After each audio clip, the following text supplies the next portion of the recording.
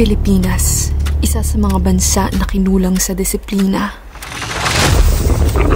Pre, ilan mo ako, munti ka mo na akong tamaan, no? Kanina pa ako nakasiglan, papunta akong kaliwa. Bigla mo inalaw. Mga gantong bangayan na dapat mong maiwasan. Nakita mo ba, nasa linya ako, bigla kang pumasok dyan? Doon pa lang tayo malayo, kanina pa ako nakasiglan. Ikaw yung bilang dumaan na mabigla. Kaya ako bumak. Mag-enroll sa isang matinong driving school para maiwasan ang mga gantong eksena.